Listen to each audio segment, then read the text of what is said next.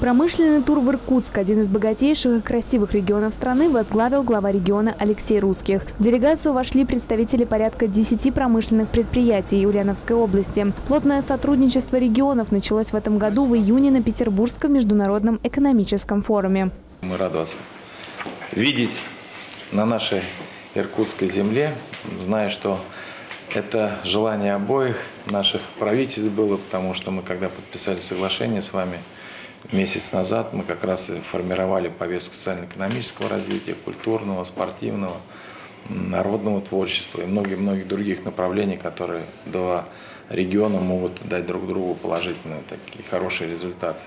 Регионы объединяет авиастроительная отрасль. Предприятия двух областей сотрудничают, реализуют совместные проекты уже на протяжении многих лет. Так, часть композитного крыла на пассажирский самолет МС-21 производят в нашем регионе и поставляют его в Иркутск. Дальнейшее взаимодействие в авиастроительной отрасли – не единственная цель бизнес-миссии.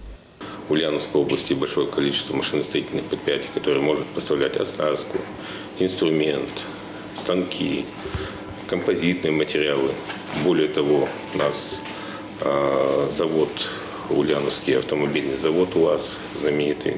Мы сейчас, э, помимо пресловутых э, буханок, которые широко используются сейчас в зоне специальной военной операции и патриотов, Промышленные предприятия Ульяновской области провели закупочные сессии. По итогам намечено около 20 технологических коопераций. Технические предприятия обменялись документацией и договорились о поставке своей продукции. Ульяновский наноцентр обсудил возможные направления работы с иркутским предприятием по изготовлению тест-полосок и мониторов для определения уровня сахара в крови. А представители Байкальского политехнического университета готовятся приехать на родину Ленина для ознакомления с производством в сфере станкостроения и авиации. Развивать хотят и туристическое направление в обе стороны. Ульяновцы смогут насладиться красотой Байкала, а иркутяне увидят бескрайнюю матушку Волгу. Волгу. Ульяновская область, она тоже богата природными богатствами, своими изумительными ландшафтами, наличием великой русской реки Волга.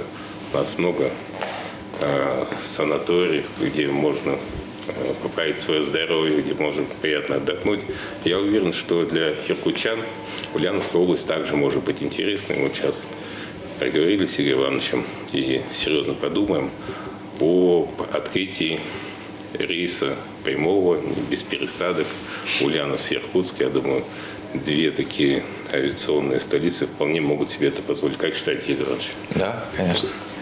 Делегация посетила ведущие предприятия Иркутска и наметила для себя большой план по сотрудничеству. В скором времени с ответным визитом в регион приедут представители из Иркутской области.